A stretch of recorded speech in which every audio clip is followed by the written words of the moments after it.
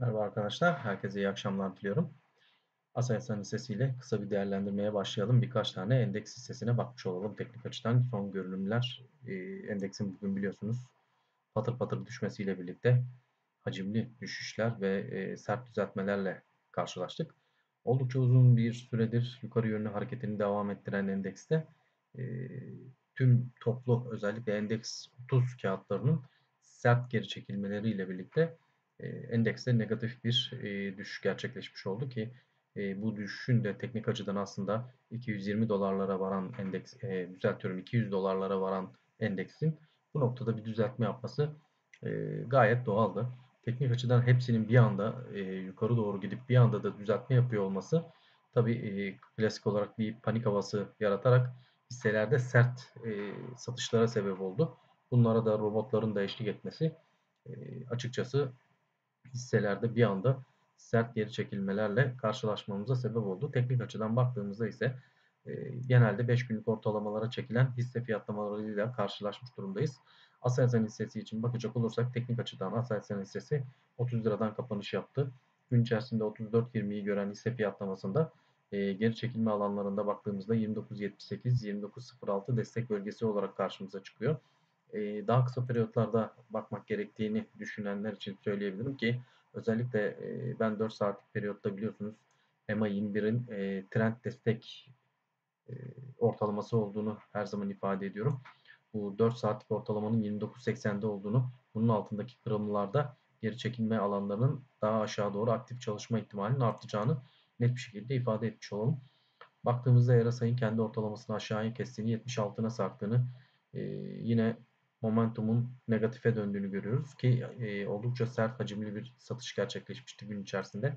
Günlük periyotta baktığımızda ise teknik açıdan hacmin ne kadar büyük olduğunu 254 milyonluk bir hacimle bir e, işlem gerçekleştiğini net bir şekilde görebiliyoruz. Bu da hissenin e, artık piyasada oldukça yüksek rakamlarla işlem gördüğünün e, habercisi oluyor. E, teknik açıdan e, 29.78 üzerinde kaldığı sürece hala trendini korumaya çalışan bir Aselsan hissesi olduğunu görüyoruz. Bugünkü düşüşle birlikte hisse fiyatlaması e, hala çanak seviyesinin üzerinde kalmış durumda. Çanak hattını muhafaza ediyor görüntüsünü e, koruyor.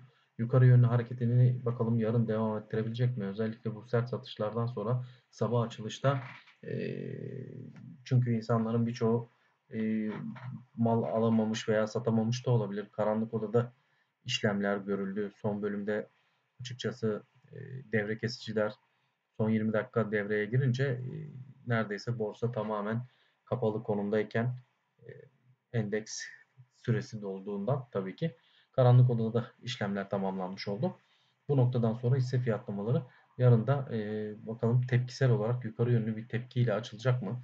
E, saatlik periyotta gördüğünüz gibi oldukça e, sert bir düzeltmeyle karşılaşıldı. Osilatörler aşağıya doğru sert düşüşler gerçekleştirdi.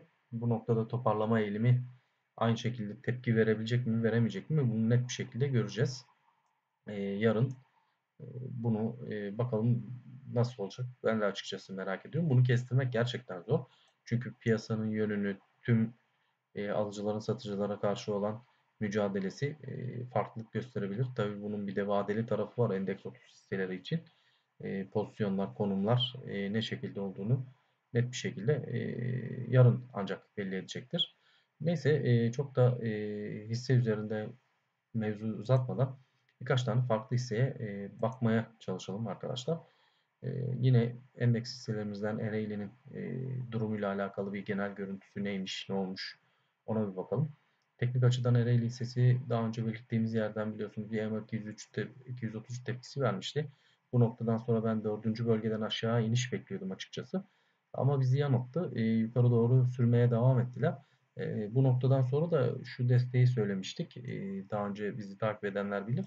Bu desteğin üzerinde kaldığı sürece üst bölümdeki 2 numaralı e, direnç bölgesine yani bir çanak yapma eğilimine doğru gider e, beklentisi içerisine girmiştik ki e, bu çanağa da çok da kalmadı yani 34 bakalım ne görmüş en yüksek 34 20 mi 34 22'li seviyelerden geri dönüş gelmiş. Bugün baktığımızda 36.02'ymiş çanak seviyesi.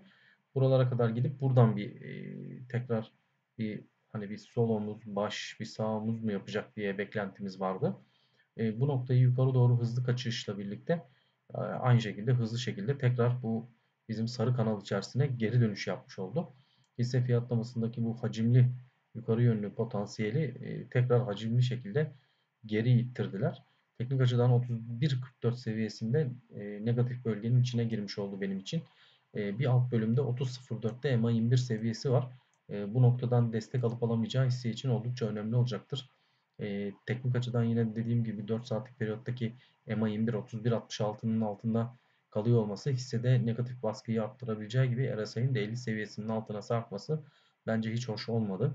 E, hacimlerin de kütlesel olarak e, büyük hacimlerle satılmış olması ve büyük bir mum yapıyor olması hissede e, yarın da e, bu mumun devamı şeklinde bir e, hareket gelebilir mi e, sorusunu bana sorgulatıyor e, teknik açıdan. Dediğim gibi e, hani e, hissede blok bir satış olup da bu kadar büyük bir mumu tekrar terse çevirmek e, biraz güç ve zaman isteyecektir diye düşünüyorum. Yani zorlanılacak bir durumdur. E, teknik bölge olarak e, daha önce bahsettiğimiz şu birden 4'e çizdiğimiz bir yatay e, çizgi var. Noktalı şurada gördüğünüz gibi. Şunu ben e, düz çizgiye çevireyim daha net gözüksün. Şurada yeşil çizgi var. Yani bu yeşil çizgi 30-60'tı arkadaşlar. Bu 30-60'ın altındaki fiyatlama e, hisseyi e, negatif e, hareketi devam ettirecek bir e, desteğin kırıldığını söylüyor bize. Hani bu bölgeyi hani şurada tutup devam edebilse diye düşünmüştük ama pek de tutamamış bir üzüntüsü var. E, biliyorum e, dediğim gibi yani Aselsan hissesinde de bunda sert uzun mumların e, dönüşümü oldukça biraz zor olur. Bu noktadan sonra ne olur derseniz bu noktadan sonra yukarı doğru e, kısa tepkiler verip e, ters bayraklarla bir tur daha aşağı indirme ihtimallerini her zaman için göz önünde bulundurmanızı tavsiye ederim. Yani hissenin saatlik periyotta özellikle şöyle bakmaya çalışalım. E, ne şekilde olduğunu e, tamamen belirlemek için e, hisse fiyatlamalarında e, arkadaşlar e, belirli zamanlarda biliyorsunuz geri çekilme alanlarında e, şu anda bilgisayarımız dondu galiba. Niye böyle olduysa.